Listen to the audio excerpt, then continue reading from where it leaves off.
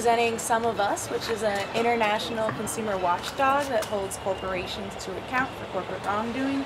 Um, and I'm here to deliver over 384,000 signatures that are urging water officials here to vote no on the permit that would allow Nestle to bottle nearly a half billion gallons of water a year from Ginnie Springs, which is already fragile. It's in recovery, right? Absolutely.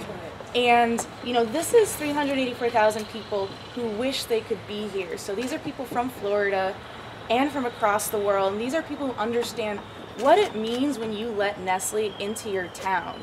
So just last week, I spoke with Steve Loe, um, who is a retired uh, forestry ranger.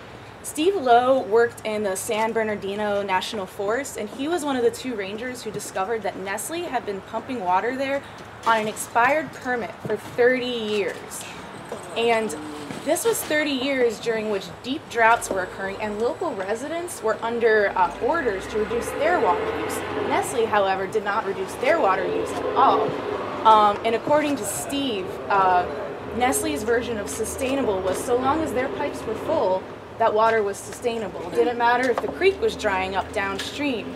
Um, and I asked what Steve's advice was for people here in North Florida, and he said, never let Nestle in, never give up that water, because if you give up that water, you're never going to get it back, or you're going to be in court forever battling to get it back.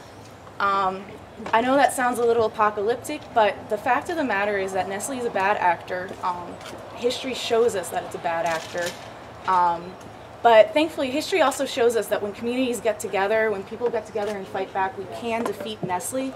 Um, just last week in Michigan, Michigan's second highest court ruled in favor of a small town that's been fighting Nestle for years. Uh, Nestle almost sued the town out of existence. Uh, we're into bankruptcy. Um, SumofUs helped fundraise to uh, pay for their legal fees, uh, in addition with a lot of great local groups.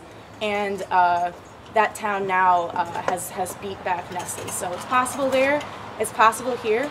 Um, I also want to add, today is a World Human uh, Rights Day, and water is a human right, and people here in North Florida have the right to decide what happens to their water, not some foreign multinational. Yeah.